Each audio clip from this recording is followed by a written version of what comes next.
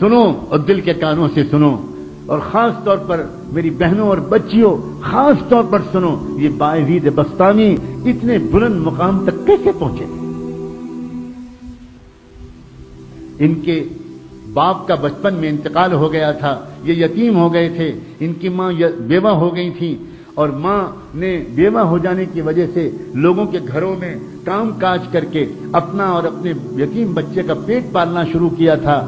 جب بچہ بڑا ہونے لگا تو یہ ماں ڈرنے لگی کہ اب میرا بچہ بڑا ہو رہا ہے، گلیوں میں کھیل رہا ہے، یہ غلط صنعت لڑکوں کا ساتھ ہوگا، میرا بچہ بگڑ جائے گا۔ میں کیا کروں؟ لوگوں سے مشورہ کیا، لوگوں نے کہا کہ دیکھو، ایک مدرسہ ہے، وہاں ایک بہت بڑے شیخ ہیں، وہاں جو بچے پڑھتے ہیں، وہ بچے اللہ کے ولی بن جاتے ہیں۔ میرا ہمارا مشورہ یہ ہے کہ اگر تمہاری یہ تمنا ہے تو تم وہاں اس بچے کو پہنچا دو۔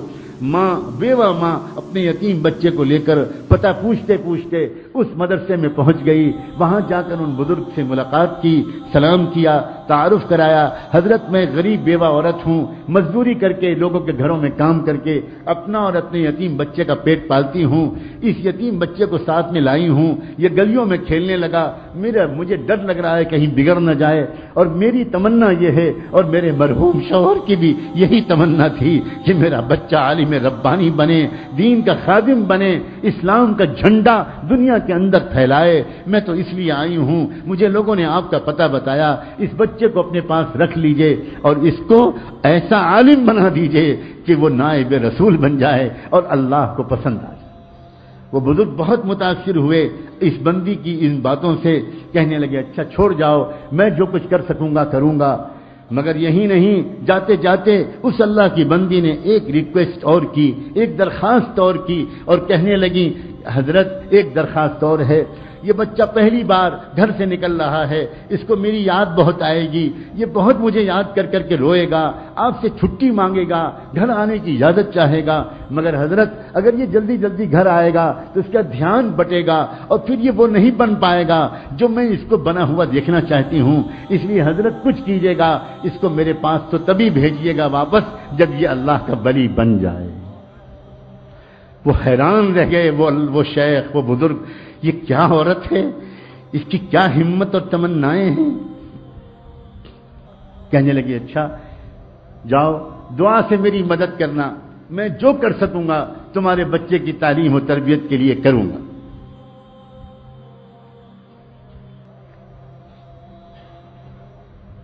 چلی گئی چھوڑ کر، بچے کی تعلیم و تربیت کا سلسلہ شروع ہو گیا۔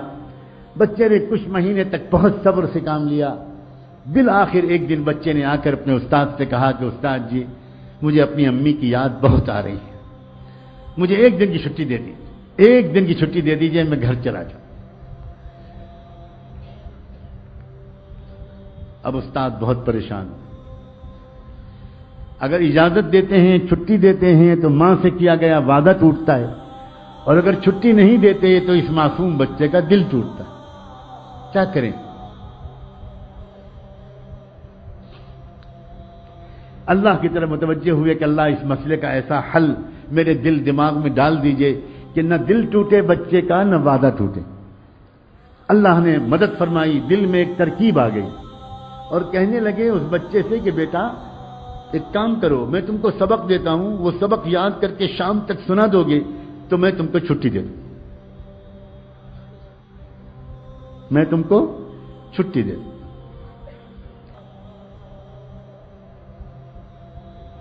بچہ خوش ہو گیا۔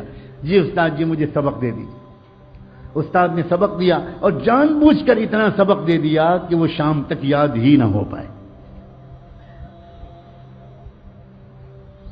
ماں سے وعدہ کر چکے تھے۔ اب جو سبق دیا، بچہ سبق لے کے خوش خوش اندر گیا۔ اب جو اس نے پورے سبق کو دیکھا تو وہ سمجھ گیا کہ یہ شام تک یاد نہیں ہو سکتا۔ اب میں کیا کروں؟ کیا استاد کے پاس دوبارہ جا کر درخواست کروں کہ سبق کم کر دیجیے؟ سوچنے لگا، یہ تو بے ادبی ہو جائے گی۔ استاد کا فیصلہ نہیں بدلا جاتا، کچھ اور کیا جاتا ہے۔ کیا کروں؟ گھر جانے کا دل جتنا چاہ رہا ہے، میں اپنے استاد جی کو کیسے بتاؤں؟ وہ تو سمجھتے ہیں کہ میں رات میں تکیے پر رکھ کے سر رکھ کے سو جاتا ہوں۔ حالانکہ میں کتنی دیر تک منہ چھپا کر روتا رہتا ہوں اپنی امی کی یاد میں، یہ میں استاد جی کو کیسے بتاؤں؟ ایک ترکیب ذہن میں آئی۔ اس نے کتاب کو ادب کے ساتھ رحل پر رکھا اور اللہ سے اب دعا کرنی شروع کی۔ اللہ، اپنے ننے منہ ہاتھ اٹھائے اور کہنا شروع کیا، اللہ، بچپن سے امی یہی کہتی ہیں، یہی کہتی چلی آ رہی تھی کہ آپ سب کچھ کر سکتے ہیں۔ آپ کی قدرت سب کچھ ہے اور استاد کی روزانہ یہی بات سکھاتے ہیں، اللہ، آج وہ یتیم بچے کی دعا قبول کر کے اپنی قدرت کو استعمال کر لیجیے۔ اللہ شام تک یہ سبق یاد کروا دیجیے۔ اللہ، آپ تو آپ کی قدرت کا واسطہ اللہ آپ جانتے ہیں میں اپنی امی کی یاد میں کتنا تڑپ رہا ہوں۔ اللہ میرے ٹوٹے دل کو سکون دے دیجیے۔ میرے ابو ہے زندہ ہوتے تو وہ کبھی کبھی آ جاتے۔ میں ان کو دیکھ لیتا، تسلی ہو جاتی۔ اب تو وہ بھی نہیں ہے اور بچوں کے تو اماں ابا آ جاتے ہیں۔ اللہ، میں اکیلا یہاں پڑا ہوں، آپ رحم کر دیجیے۔ میں استاد کے پاس جا کر بے ادبی کا گناہ تو نہیں کرنا چاہتا، لیکن یہ سبق مجھے شام تک یاد دلا دیجیے۔ اللہ، آپ تو سورج کو پیدا کرنے والے، آپ تو چاند کو پیدا کرنے والے، آپ تو سورہ رحمان کو اتارنے والے، اتنی قدرت والے۔ اور آپ اس کے بعد اللہ کر دیجیے، یہ کر دیجیے۔ اور خوب دعا مانگ کے یقین کے ساتھ کہ اللہ نے میری دعا قبول کر لی ہوگی، سبق یاد کرنے بیٹھا۔ اور سچا واقعہ ہے تاریخ کا کہ شام تک اس کو پورا سبق یاد ہو گیا۔ اب وہ پہنچا اپنے استاد کے پاس۔ استاد جی سبق سن لیجیے۔ استاد کو یقین تھا، سوال ہی نہیں پیدا ہوتا کہ پورا سبق یاد ہو جائے۔ سناؤ بیٹا، سناؤ۔ اب جو بچے نے سبق سنانا شروع کیا تو استاد حیران رہ گئے۔ اس طرح اس نے پورا سبق سنا دیا کہ نہ کہیں بھولا، نہ کہیں اٹکا۔ استاد سمجھ گئے، اس بچے کا معاملہ کچھ خاص ہے۔ اب میں اس کو نہیں روک سکتا۔ میں تو وعدہ کر چکا ہوں، جاؤ بیٹا، جاؤ۔ بچے نے استاد کے ہاتھ چومے، دعائیں لی اور اس کے بعد نکلا۔ اچھلتا، کودتا، ہنستا، کھیلتا، خوب مسکراتا، گیت گاتا اور اپنی گھر کی خیالوں میں، امی کی یادوں میں مگن گھر کی طرف روانہ ہو گیا۔ اس طرح جاؤں گا ایسی آواز دوں گا، ایسے پکاروں گا، امی ڈھونڈنے کی میں چھپ جاؤں گا، پھر پیچھے سے آ کے امی کو پکڑ لوں گا، اب مزہ آئے گا، پھر امی مجھے کھانا کھلائیں گی، پھر امی مجھے اپنے پاس سلائیں گی، کب سے امی کی خوشبو نہیں سوں گی؟ انہی خیالوں میں ایک چھوٹا سا معصوم بچہ کس طرح گھومتا ہوا گیا ہوگا؟ آپ خود سوچو۔ گھر پہنچا، گھر کا دروازہ بند تھا، امی کوئی جواب نہیں ملا۔ امی دروازہ کھولیے، کوئی جواب نہیں ملا۔ زور سے اس نے پھر آواز دی، امی، دروازہ کھولیے۔ تو اندر سے جواب ملا، کون ہے دروازے پر؟ من دقل باب تو بچے نے باہر سے کہا، امی، میں آپ کا باعزید ہوں۔ دروازہ کھولیے۔ تو اندر سے جواب آیا، عجیب لہجے میں، کون باعزید یہ والا میرا باعزید نہیں ہو سکتا۔ میرا باعزید تو تب آئے گا جب اللہ کا ولی بن جائے گا۔ میرا باعزید تو یہ نہیں ہو سکتا۔ بس باعزید بستانی وہ بچہ وہیں پہ کھڑا روتا رہا روتا رہا روتا رہا۔ سمجھ گیا میری امی نہیں چاہتی کہ میں ابھی جاؤں، میرا دھیان بڑھ جائے گا۔ بہت دیر تک روتا رہا، پھر واپس آ گیا۔ گیا تھا، ہنستا ہوا، واپس آیا، روتا ہوا۔ آیا، آ کر مدرسے پہنچا، استاد کے پاس پہنچا، سلام کیا۔ استاد حیران رہ گئے، بیٹا تم کیسے واپس آ گئے؟ کیا ہوا؟ خیریت تو ہے۔ اب جو بچے نے اپنی داستان سنانے کے لیے اپنا چہرہ اوپر اٹھایا تو استاد کی نظر پڑی، چہرہ آنسوؤں سے تر تھا، آنکھیں لال تھیں۔ کیا ہوا میرے بیٹے؟ کیا ہوا؟ کیا خیریت؟ تو جلدی بتاؤ۔ بیٹے کو گود میں لے لیا، اپنے امامے کے کنارے سے بچے کے چہرے کے آنسو پوچھے، کیا ہوا کیا؟ بچے نے کہا، استاد جی آپ نے چھٹی دے دی تھی، میں بہت خوش خوش گیا، ہنستا کھیلتا، دروازہ بند ملا۔ کئی بار پکارنے کے بعد اندر سے جواب آیا، کون ہے دروازے پر؟ میں نے کہا، امی، میں آپ کا باعزید ہوں۔ تو اندر سے جواب ملا، کون باعزید یہ والا میرا باعزید نہیں ہو سکتا، وہ تو تب آئے گا جب وہ کچھ بن جائے گا۔ پھر کیا ہوا؟ میں وہیں کھڑا روتا رہا، بہت دیر روتا رہا۔ رہا پھر واپس آ گیا۔ اب استاد جی میں گیا تھا، کھیلتا، ہنستا، آیا ہوں، روتا ہوا۔ استاد بھی کمال کے استاد تھے۔ کہنے لگے بیٹا ایک بات بتا دو، تم اپنی ماں سے ناراض ہو کر تو نہیں آئے ہو؟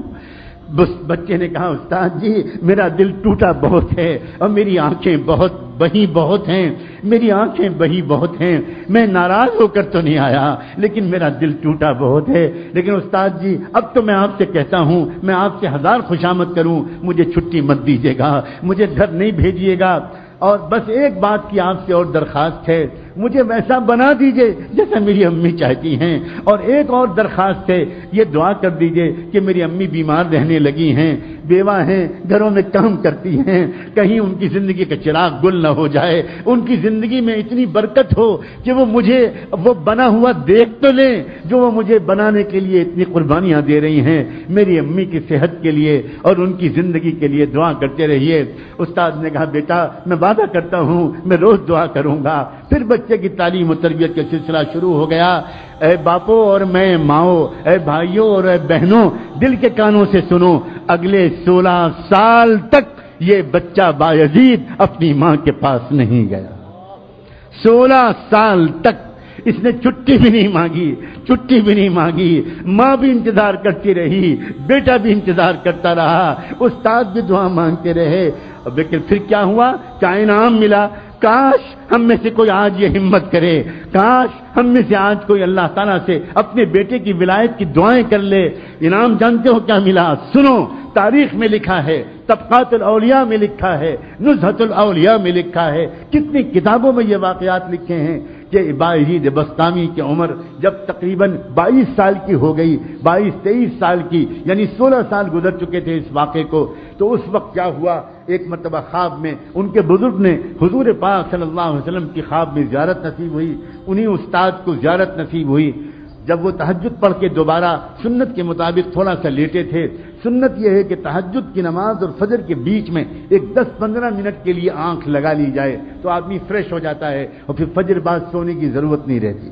یہ سنت ہے۔ اس سنت کے مطابق تحجد پڑھ کے فجر سے پہلے وہ ذرا دیر کے لیے لیٹے۔ کہ ان کی آنکھ لگی اور پھر تشریف لائے، زیارت ہوئی۔ رحمت دو عالم، امام امام الانبیاء، حضور اکرم صلی اللہ علیہ وسلم۔ اور ان بزرگ سے کہا کہ وہ جو نوجوان ہے نا باعزید تمہارے پاس زیر تربیت، اس کو ولایت کبرا کا جھنڈا دے دیا گیا۔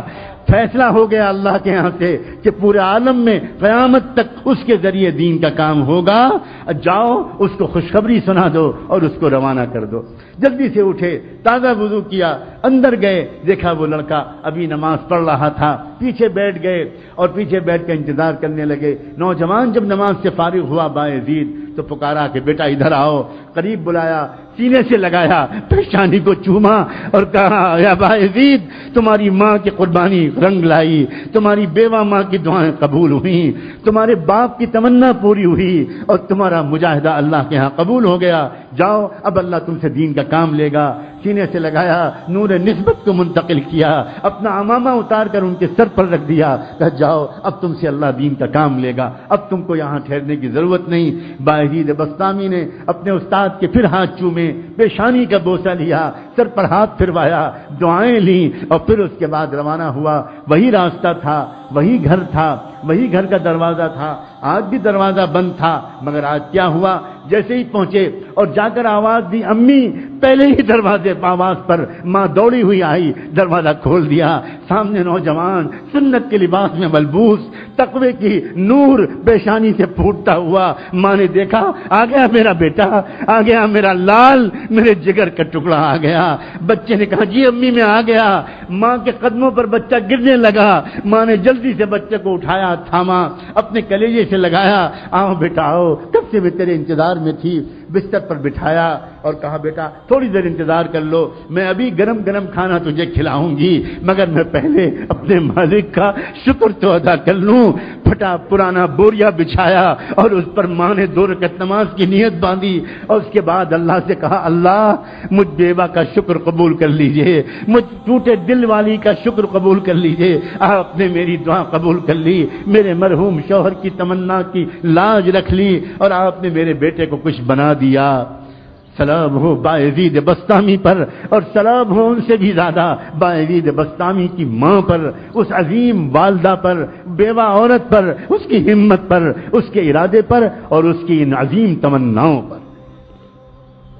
عورتوں کی تمنائیں جب درست ہوتی ہیں تو امت کو باعید بستامی ملا کرتے ہیں، امام بخاری ملا کرتے ہیں، ابو حنیفہ و شافعی ملا کرتے ہیں، امام مالک ملا کرتے ہیں عبد القادر جیلانی ملا کرتے ہیں، معین الدین چشتی ملا کرتے ہیں، مولانا محمد قاسم نونتوی ملا کرتے ہیں، مولانا محمد الیاس اور مولانا رشید عبد رشید احمد گنگوئی ملا کرتے ہیں اور نہ جانے کیسے کیسے عظیم اسلام کے سپوت ملا کرتے ہیں اور جب عورتوں کی تمنائیں گندی ہو جاتی ہیں ناپاک ہو جاتی ہیں۔ ناچنے، گانا، ٹی وی دیکھنا، میوزک سننا، وقت کو ضائع کرنا، فیشن کرنا، فضول خرچے کرنا۔ تو امت کو ناچنے، گانے والے ملتے ہیں، پورنگرافی کرنے والے ملتے ہیں، بے حیائی کرنے والے ملتے ہیں، لڑکیوں کو چھیڑنے والے ملتے ہیں، گندی فلمیں دیکھنے والے ملتے ہیں۔ میرا بس چلے تو میں خانے کعبہ کے سامنے کھڑے ہو کر پوری امت کی عورتوں سے ہاتھ جوڑ کر بھیک مانگوں۔ اس امت کے مستقبل پر رحم کھاؤ، اپنی تمناؤں کو ٹھیک کر لو۔ امت تنگ آ گئی ہے بے حیا نوجوانوں سے۔ امت تنگ آ گئی ہے گندے اور ناپاک نوجوانوں سے۔ امت کو پھر ضرورت ہے عبد القادر جیلانی کی۔ امت کو پھر ضرورت ہے مجدد الف ثانی کی۔ امت کو پھر ضرورت ہے عبد القادر عبد القادر جیلانی کی۔ امت امت کو پھر ضرورت ہے شاہ ولی اللہ کی، امت کو پھر ضرورت ہے باعدید بستانی کی، اور امت کو پھر ضرورت ہے اسلام کے سچے خادموں کی۔ اور اے ماں تم ہی ہو جو اسلام امت کو یہ تحفہ دے سکتے ہو۔ یہ مردوں کے بس کی بات نہیں ہے۔ تم ہو جو اپنی پیٹ میں نو مہینے اس بچے کو رکھتی ہو اور پیٹ میں جو رکھتی ہو تو یاد رکھنا ان دنوں میں تمہارے دل میں جو تمنائیں ہوتی ہیں، وہی بچے کی تمنا بنتی ہے۔ تم پیٹ میں رکھتی ہو، تمہاری تمنائیں اس میں زیادہ منتقل ہوتی ہیں۔ تمہارا کردار، تمہاری سیرت، تمہارے ولولے، تمہارے عزائم اسلام کے ساتھ بے وفائی چھوڑ دو، اسلام کے ساتھ وفاداری اختیار کر لو۔ اسلام ڈھونڈ رہا ہے۔ ہزاروں میل کے فاصلے پر کوئی ایک وفادار، امتی نہیں مل پا رہا اسلام کو۔ سب نے چھوڑ دیا اسلام کو اکیلا۔ سب لگ گئے کاروبار میں، سب لگ گئے پیسہ کمانے میں، سب لگ گئے شہبتیں پورے کرنے میں، سب لگ گئے فیشن پرستی میں۔ اسلام یتیم بچے کی طرح دھکے کھا رہا ہے۔ دھکے کھا رہا ہے۔ أرأيت الذي يكذب بالدين؟ فذلك الذي يدعو اليتيم. فذلك الذي يدعو اليتيم. تم نے دیکھا ہے اس کو جو دین کو جھٹلاتا ہو؟ وہ کون ہے؟ دین کو جھٹلانے والے کو صرف مندروں میں تلاش مت کرو. دین کو جھٹلانے والے کو صرف چرچوں میں تلاش مت کرو. ہم تم کو بتاتے ہیں دین کو جھٹلانے والا کون ہے؟ فضا لکھل لذی یتیم وہی ہے جو یتیم بچے کو دھکا دیتا ہے۔ آج تو محمد کا دین یتیم ہو گیا، اللہ کے رسول کا دین یتیم ہو گیا اور ہم اس دین کو یتیم بنا کر گھر سے دھکے دے کے نکال رہے ہیں شادی کے موقع پر اس دین کو نکال دیا جاتا ہے، سنتوں کو نکال دیا جاتا ہے۔ جس شادی کے موقع پر گھر میں صفائی کرنے والی بنگن کو بھی راضی کیا جاتا ہے، کام کرنے والی کو بھی راضی کیا جاتا ہے، دھوبی اور دھوبن کو بھی راضی کیا جاتا ہے، اس شادی کے موقع پر اللہ اور اللہ کے رسول کو ناراض کر دیا جاتا ہے۔ توبہ کرو اللہ کے بندو، توبہ کرو توبہ کرو توبہ کرو۔ معافی مانگو معافی مانگو۔ ہماری تمنائیں گندی ہو گئیں۔ تمنائیں پہلے گندی ہوئی پھر آنکھیں گندی ہوئی تمنائیں پہلے گندی ہوئی پھر کان گندے ہوئے۔ تمنائیں پہلے گندی ہوئی پھر زبان گندی ہوئی۔ تمنائیں پہلے گندی ہوئی پھر شرم گاہیں گندی ہوئی تمنائیں پہلے گندی ہوئی پھر ہاتھ پیر گندے ہوئے۔ تمنائیں پہلے گندی ہوئی پھر پھر پیٹ گندے ہوئے۔ تمناؤں کو پاک کرنا سب سے پہلا کام۔ تمنا پاک کی تھی، فرعون کی بیوی نے، تو اللہ نے اس کو ساری دنیا کے ایمان والوں کے لیے آئیڈیل بنا دی۔